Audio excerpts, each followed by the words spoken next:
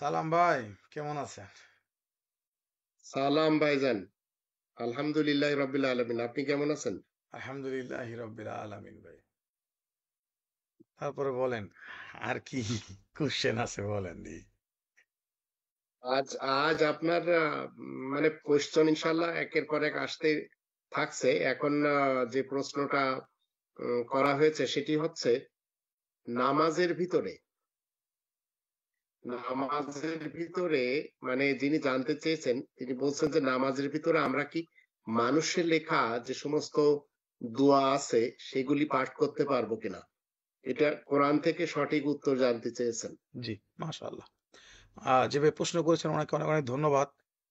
আশা রাখি আজকে একটা গুরুত্বপূর্ণ বিষয়ের ফয়সালা হবে কোরআন থেকে। কারণ আমরা আসলে অনেকে জানি না আসলে আমরা সালাতে কি করব বা কি আহ এটা খুব আমার কাছে মনে হচ্ছে মানে আল্লাহ তালা একদম শুরুর দিকে বলে দিয়েছেন। আপনি যদি আহ সূরা আল বাকারার টু এর ফর্টি ফাইভ মানে পাঁচচল্লিশ নম্বর আয়াতটা পড়েন তাহলে কিন্তু আপনি আশা রাখি এর একটা সুন্দর উত্তর পেয়ে যাবেন ইনশাল্লাহ আমি অনুরোধ করব ভাই আপনি যদি দুই নম্বর সূরার পাঁচচল্লিশ নম্বর একটু বাকারার পঁয়তাল্লিশ নম্বর আয়াতে বলা হচ্ছে ওয়াস্তাইনু বিস-সাবরি ওয়া ইন্নাহা লাকাবীরাতুন ইল্লা আলাল খাশিঈন।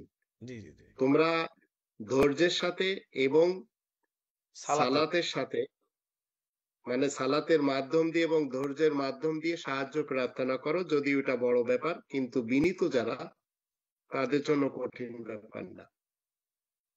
নিঃসন্দেহে কিন্তু কঠিন কাজ কিন্তু যারা বিনীত তাদের জন্য কঠিন না।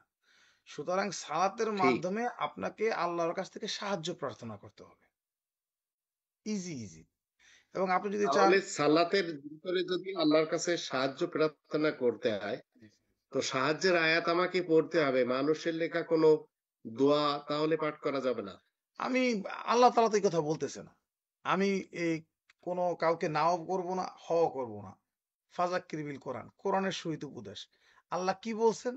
You follow that. এটাই আমার জন্য যথেষ্ট। আল্লাহ পাক কি বলছেন? আল্লাহ বলছেন তাহলে সাহায্যের জন্য কি এখানে আমরা দুটো জিনিসই খুঁজে পাচ্ছি? একটা হচ্ছে কোনো বিপদ আসলে আমাদের ধৈর্য ধরতে হবে। জি ধৈর্য ধরতে এবং হবে এটাই হচ্ছে আপনি যদি আল্লাহর কাছ সাহায্য চান তাহলে এই দুইটাই মাধ্যম। এবং আপনি যদি চান এটা সুরা বাকারার একশো তিপ্পান্ন পড়তে পারেন হান্ড্রেড ফিফটি থ্রি। আর সেখানে ঠিক একই কথাই বলা হচ্ছে। তো আল্লাহ তালা মানে ইস্তিআনাত মানে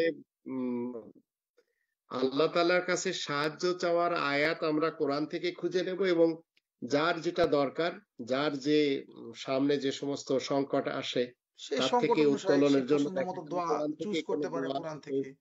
হ্যাঁ কেউ কেউ চাইলো যে হ্যাঁ ওয়ামিন হুম ইয়াকুলু রাব্বানা আতিনা ফিদ দুনিয়া হাসানাতা ওয়া ফিল আখিরাতি হাসানাতা ওয়া কিনা আযাবান নার। তো আল্লাহ আমার দুনিয়ার কল্যাণ দেন আখিরাতের কল্যাণ দেন জাহান্নামের আযাব থেকে বাঁচা সবই তো চাইলো।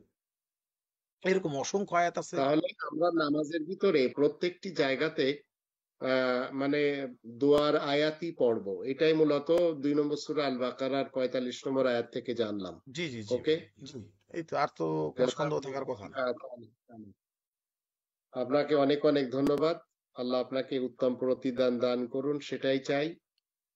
উম, কোরআন থেকে এইভাবে মানে আয়াতের মাধ্যম দিয়ে আমাদের সমস্যার সমাধান দেওয়ার জন্য। ভালো থাকবেন। ধন্যবাদ ভাই। সালাম সালাম।